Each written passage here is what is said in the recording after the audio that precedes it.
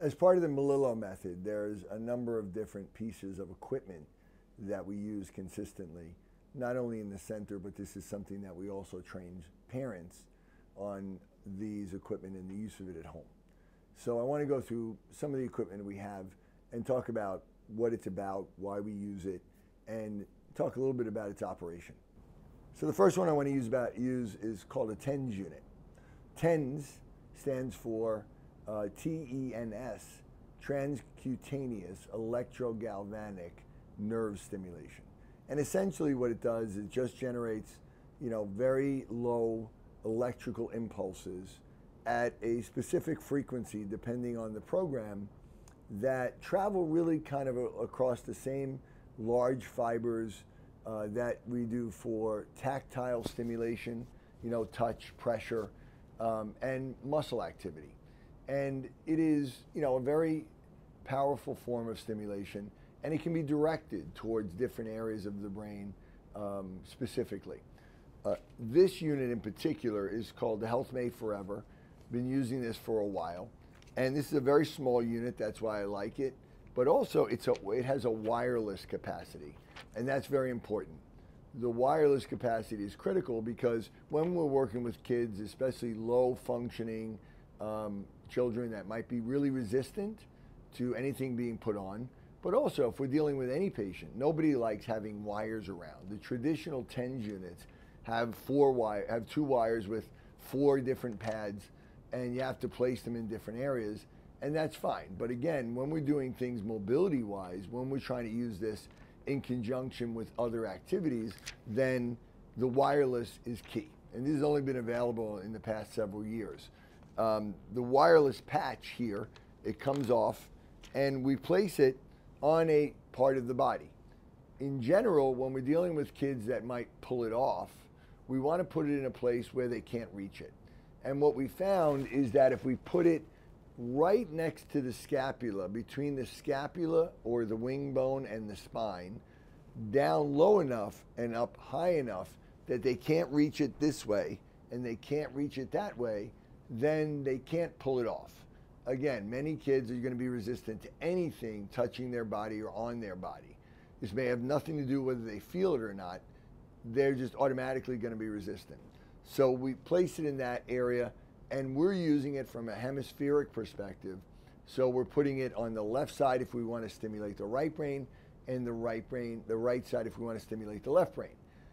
When we do that, it's specifically going to go through brain pathways that will go to Brodmann areas 3, 1, 2, which is the parietal lobe areas. And that is also connected with the premotor areas and other areas of the brain, but especially it's going to go to that parietal lobe area which is going to give powerful stimulation, especially in children that don't feel their body very well. So the way we use this is in the wireless kit, which will which will which we describe to parents. This is the Bluetooth. Um, this unit gets turned on from the bottom, and when it turns on, it lights up. Now, depending on the unit, they they're changing this unit all the time, which is uh, a little bit confusing there are different numbers and we choose different programs.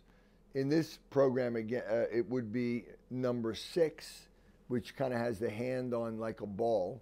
That's the frequency I like. That's the just sensory stimulation. We're not looking for motor stimulation, only sensory stimulation. And then this patch goes on their body. Now, the key here is when you're putting this on, we put this on and turn, turn this unit on first, and then we see a red light that comes on, which means it's on. And we have it on the patient. We then turn this on. And when we do that, you will see that this turns blue and green, and then red and blue. When it is red and blue, that means that the Bluetooth is connected. We also see that this the blue is under channel A, if we press this silver button, we can go from A to B, but we always want to be on A. And then from here, we can choose the program under mode, it's M. We can then go to mode number six. Okay, we go down and press it, and we go to six on this one.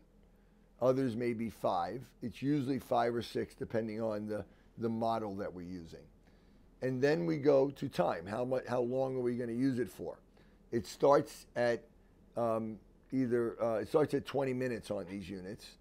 And for the most part, that's our starting point. If people are using this at home, it's going to start at 20 minutes. And then we press the T to go up. It goes from 10 minutes to 60 minutes, and we choose the time we're going to be using it.